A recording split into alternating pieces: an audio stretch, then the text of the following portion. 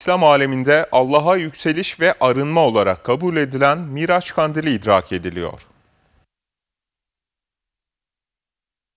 İslam aleminde Allah'a yükseliş ve arınma olarak kabul edilen Miraç Kandili, 3 ayların ilki olan Recep ayının 27. gecesine denk geliyor. İslam inancına göre Peygamber Efendimiz Hazreti Muhammed, Miraç gecesi Allah'ın daveti üzerine Cebrail aleyhisselamın rehberliğinde Mescid-i Haram'dan Mescid-i Aksa'ya, oradan semaya, yüce alemlere ve ilahi huzura yükseldi. Hazreti Muhammed yolculuğunda Burak adlı binekle seyahat etti.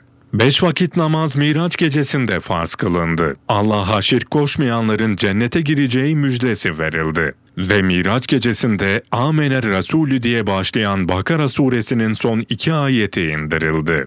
Ayrıca bu gece Allah, Hazreti Muhammed'e insanın yaşama hakkını, şeref ve haysiyetini korumayı, toplumun huzur ve güvenini sağlamayı amaçlayan 12 emir vahyetti.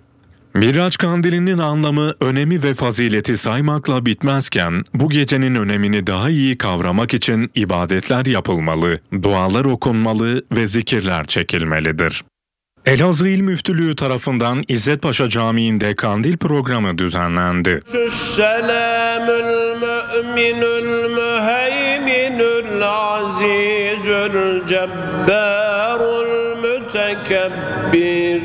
السلام المؤمن المهيمن العزيز الجبار المتكبر Kur'an-ı Kerim tilavetiyle başlayan programda eller semaya açılarak dualar edildi. فربكم أعلم بمن هو أهدى سبيلا Programda ilahiler de seslendirildi.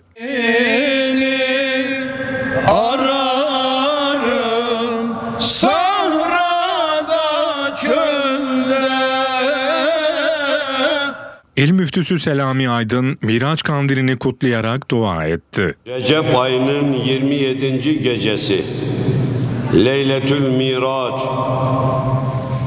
Miraç kandili Bu kandiller Ramazan ayının müjdecisi 11 ayın sultanı Kur'an ayı Gufran ayı Allah'ın rahmetinin müminlerin üzerine sağanak sağanak yağdığı oruç ayı Ramazan ayının müjdecisi olan Leyletül Miraç kandili içerisindeyiz.